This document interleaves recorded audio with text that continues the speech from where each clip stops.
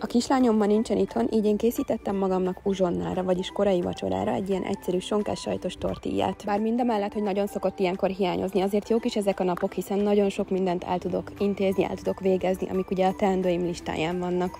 Így hát most nyugiban leültem, naplót írtam, hanganyagokat hallgattam közben, és megettem a kis uzsonna vacsorámat is. Utána pedig bevettem egyet a Prebiotic Slim kapszulából, ami gyógynövényeket tartalmaz, és mindemellett, hogy elősegíti az emésztést, támogatja a fogyást is, és segít az egészséges bélflóra kialakításában. Szóval egy szuper étrend kiegészítő a mindennapokra. Utána pedig Marcival megkávéztam, és videókat szerkesztettem közben.